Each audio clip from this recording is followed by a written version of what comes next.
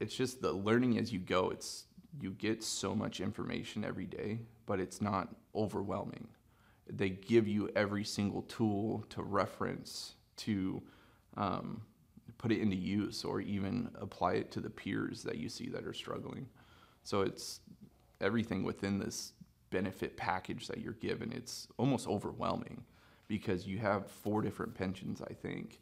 So I mean, you're set up to the point to where if you really care about your career, I mean, you could retire at 65 and never have to worry about a thing in your life. So it's it's really cool. It's a great program. Um, the insurance aspect itself, I copays.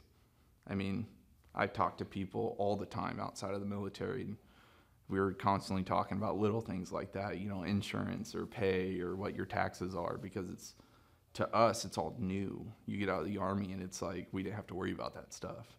So it's getting all that information and the amount of just stuff they give you here it's overwhelming but at the same time it's so i'm like so grateful for what they've given me because it's just overwhelming with the type of stuff you can do and they give you everything to make you successful and that's it's all on the individual is what it is that's what i like about this